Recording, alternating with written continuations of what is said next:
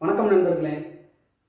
Amen A M E N amen noun used after prayer so be it அவ்வாறே ஆகுக. வழிபாட்டிற்கு பிறகு சொல்வது.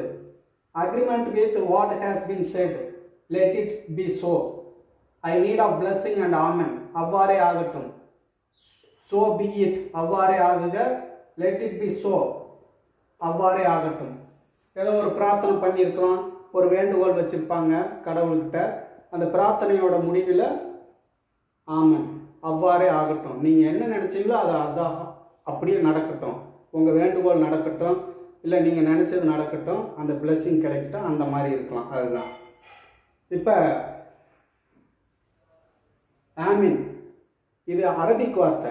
இந்த ஆமன்ங்கிறது அரபிக் வார்த்தை. அதிலிருந்து வந்தது தான் ஆமன். ஆமீன்.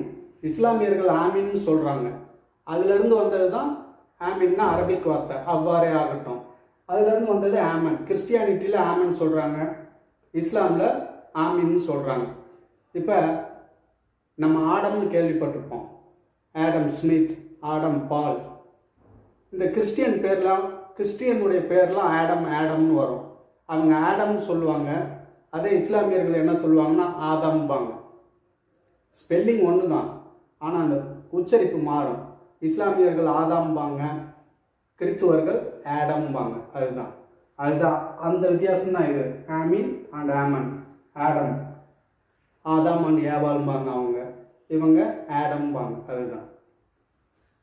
இந்த வார்த்தை அரபிக்ல வந்தது. அதுக்கப்புறம் தான் எல்லாமே அதோட மூல அடிப்படை அரபியன் அரபிக்ல வந்த வார்த்தை. நன்றி நண்பர்கள். வணக்கம்.